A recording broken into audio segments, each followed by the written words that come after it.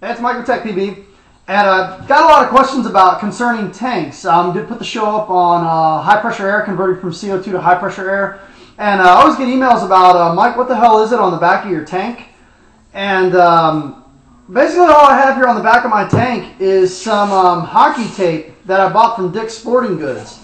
Um, I don't really like using a tank cover. It's you know it's all personal preference. Some people like using a tank cover, some people don't. Um, for me, I've found that uh, when I have a tank cover, when I'm playing a lot of games, you know, and, and usually, you know, we're over you know, I practice at CFP in Lakeland, Central Florida Paintball, great fields, and also at Cone Sports in Riverview. You know, after you play, you know, 20, 30 games of X-Ball against some of these teams that I play against, you know, Fierce and uh, CP Factory and Damage and, you know, Palm Beach Vipers and all these other really good teams, you're going to get shot a lot, okay? A lot. And, um, I found that the tank covers just have a tendency to retain a lot of uh, a lot of shell, a lot of more, a lot of uh, um, you know they retain a lot of shell, they retain a lot of paint. It just it just kind of turns into a sticky sponge.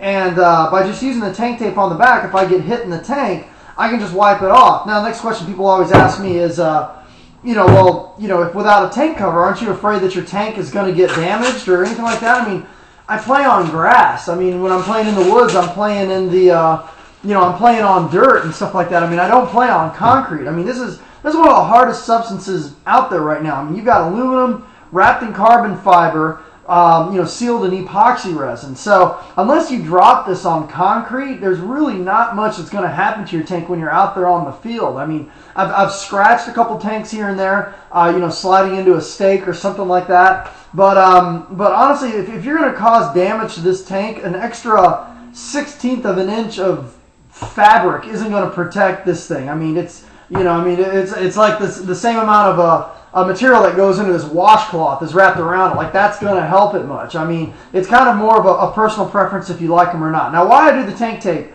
is, uh, you know, when I'm out there and I'm playing, especially with you know with the with the jerseys, the nylon jerseys without it on the back, my uh, tank slips around a little bit on my shoulder. So what I'm going to do here is I'm just going to show you what I do. Okay, this is basic hockey tape, $2 uh, a roll hockey tape.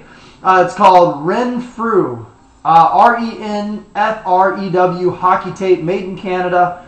And they sell it at Dick's Sporting Goods, I think for uh, $2.99. This is what it looks like. So if you go into the hockey section, this is what it looks like. Now, I don't think this is the friction tape. This is just hockey tape. And uh, basically all I do here is uh, I'm gonna try to do this without uh, trying to you know trying to show you guys how to do this. Is I just first off I crisscross it on the back, and one of the things I really like about this hockey tape over the athletic tape is the athletic tape has a tendency to really stick really hard um, and leave a ton of gummy mess on the tank when you peel it off. I mean, as you see, I peeled that old layer off, and uh, there's no gummy mess or sticky mess on my tank. So uh, basically all I do is I just take this crisscross it on the back. And I usually do this, you know, it's like cutting a pizza. I do it about eight times. Crisscrosses a couple times here. Okay.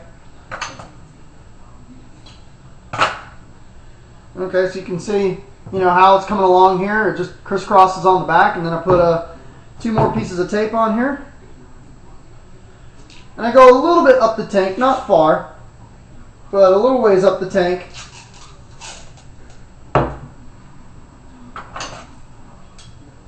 And then just cut it. So you can see what we're doing here. We're just putting tape across the back.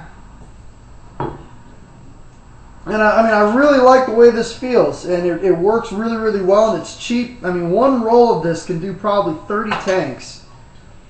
Um, Okay, so that's it on the back. And then, so as you can see, how we have this set up here, so it's just overlapping pieces, just like cutting a pizza. And then what I do, to prevent my wrist from rubbing the, the tape off, I'm just going to wrap it around the tank um, a couple of times just to make sure that none of this comes up. So let's get this going here. This is kind of sticky. There we go.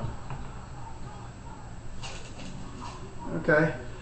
And then I'm just going to wrap this around the tank a couple of times uh, to make sure that the, uh, the crisscrossing pattern doesn't come up. And while I'm doing this, a lot of people, you know, they ask me about PSI and cubic inch and and uh, stuff like that. What does CI mean? What does PSI mean? Okay, PSI stands for pounds per square inch. Okay, that's the pressure of the tank.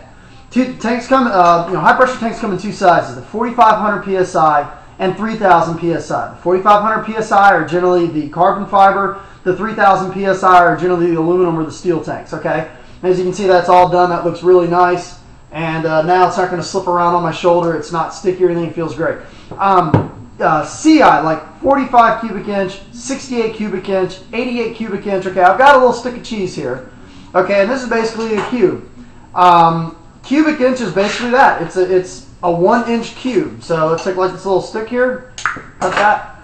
Okay, that's a that's a cubic inch basically. I mean, it's not perfect. I don't give a shit, but you know, it's it's a cubic inch. And uh, what basically when they're talking about cubic inch, like 68 cubic inch and 45 cubic inch. It's basically a 45 cubic inch tank. is a smaller tank. It's going to fit 45 of these little. Uh, here comes my dog over. There you go. Loves cheese, yes. Um, where Rocky? This is uh, for you guys that don't know. This is Rocky, the rendition dog, and believe it or not, he does have an APPA ID and an APP and an APPA uh, ID card that he wears uh, sometimes when we go to the tournaments. But cubic inch and uh, cubic inch is basically a 45 cubic inch fits 45 um, 45 of these little cheese cubes. Um, 68 cubic inch fits 68 of these cheese cubes. 88 cubic inch fits 88 of these cubes. 114 fits 114 of these cubes. So you can just imagine stacking all these up, how much bigger it's going to be. That's what CI means.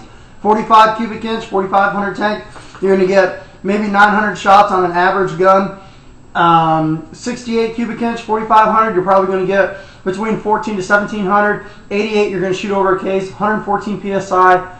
I mean, maybe 3,000, 3,000 shots on it. So that's basically what tank wrap is. What the hell is on the back of my tank? And um, first post on this video, I'm going to ship you out some of this. So enjoy.